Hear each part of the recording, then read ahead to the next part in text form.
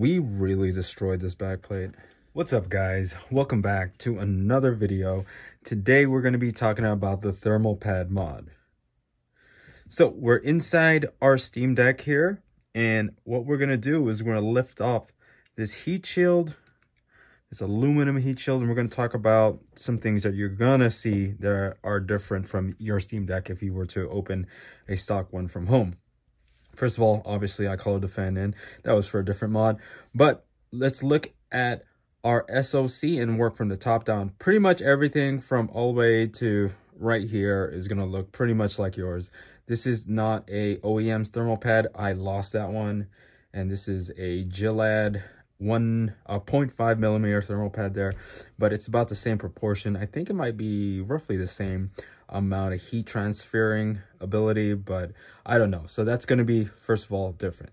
Everything else below is going to be a little bit crazier. So these thermal pads here on these VRMs and MOSFETs and these VRMs here are all stock. I just chopped them up because there's different height variations to some of these uh, VRM and MOSFETs. So I chopped them all up so the height variations wouldn't be too crazy.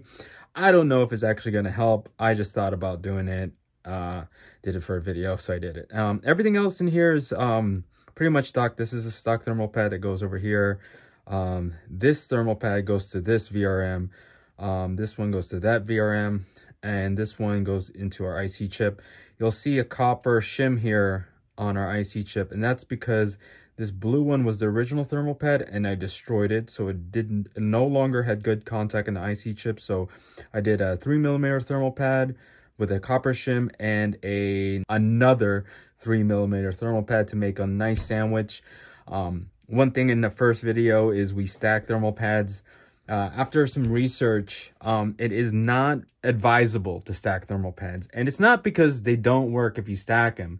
The problem is, is when stacking thermal pads together, you might get air trapped in between them, which will become an insulator, meaning heat transferring will not be as great as it would be if there was no stack thermal pads. So that's why you want to stay away from it. Um, but if you do do it, make sure you try to get as much air out of it as possible. Make sure you you you smash the crap out of that thing. Like you're gonna smash the like and then smash that subscribe button in this video. So those are the things about stacking thermal pads, all right? Really simple mod, guys. Um, if your Steam Deck is completely stock, all you need is to purchase a one millimeter thermal pad. And all you're going to do with that pad is you're going to place it along this heat pipe right here. Just right there along the top part of the heat pipe. I already have my thermal pads cut. This is a one millimeter thermal pad. Show you right there one millimeter or 0.9. It's a little compressed. And we're just going to put it on this top part right here. Just right there. Then we have another piece right here.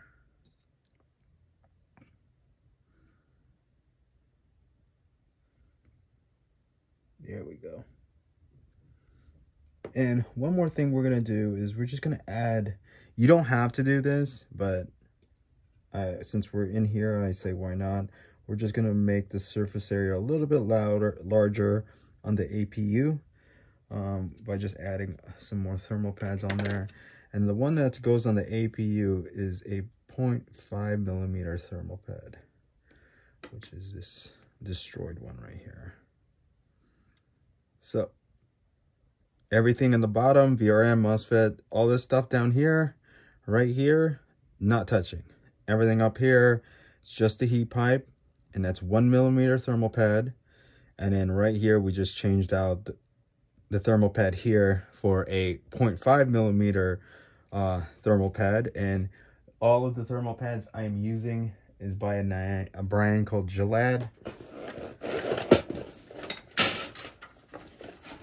This stuff right here, great stuff. Um, this one in particular is uh, conductivity is 15. Really good stuff, really good price.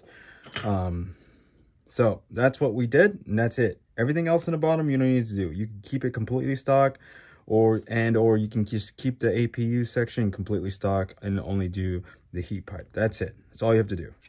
Like I was saying earlier, this mod was intended to be done with a corresponding mod, whether that was a JSAUX backplate. And the reason why you want to do it with the JSAUX backplate, because it ties the heat that's coming from the APU and the heat pipe and the rest of the SOC, the VRMs and the MOSFET, the IC controller down here, to the heat shield, which then the heat shield is making greater contact to the back of the JSAUX backplate.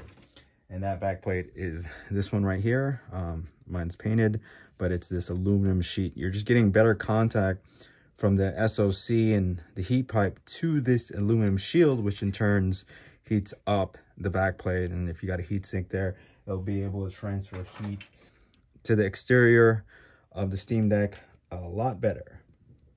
All right, but with all that said, the thermal pad mod was not intended for a stock Steam Deck backplate. It just wasn't. I, I didn't create the mod for this because that mod was intended for the original mod that we did, which was cutting a ventilation hole in the back of our Steam Deck. But the thermal pad mod works great for something like the JSAUX backplate because we're transferring more heat from the SOC to the heat shield, and which we can pull to the backplate and transfer over to another cooling solution, a uh, 40 mil heatsink with a 40 mil fan. You can see in that just allows you to cool the system more efficiently. And this is just going off the top of my head, but our prior testing, thermal pad mod, no thermal pad mod, we saw an increase of 50% on the backplate, meaning we, let's say we got, let's say if we got four degrees without the thermal pad mod, we would get eight with the thermal pad mod using the JSAUX backplate. So it's definitely intended to use for a modded Steam Deck, whether that's a backplate mod or something like our Ultimate Steam Deck mod, which was technically not this, which was also intended for like another mod with some type of ventilation. So I want you guys to keep that in mind. So yeah, thermal pad mod was intended for a Steam Deck that is modded. Whether you have the JSAUX backplate or you're going to cut a ventilation hole in your backplate, that's what this mod was intended for. And it was actually intended to keep the IC chip and some of the VRMs a lot cooler since we took out this intake port. But other than that, guys, um, if you have any questions, please feel free to leave them in the comments below. Uh, if you like this video, hit that like. If you loved it, hit that subscribe. But other than that, guys, I will catch you on the next one.